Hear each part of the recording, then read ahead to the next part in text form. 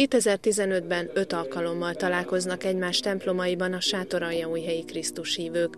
Az ökumeni jegyében meghirdetett ima alkalmak nyitó tisztelete a református templomban volt, ahol Gubala Robert apát mondott szentbeszédet. Elmondta azt is, hogy az idei ima hét témáját a brazil keresztények nemzeti tanácsa dolgozta ki, akik Jézus és a szamáriai asszony találkozásának történetének üzenetét szeretnék minden keresztény emberhez eljuttatni.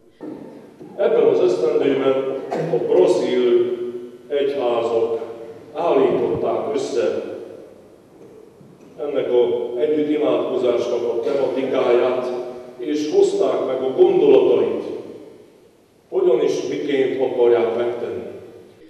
Ma este az evangélikus templomban, csütörtökön a görög katolikus, pénteken a római katolikus templomban gyűlnek össze a hívek. Az imahét záró istentisztelete a piarista templomban lesz este 6 órakor.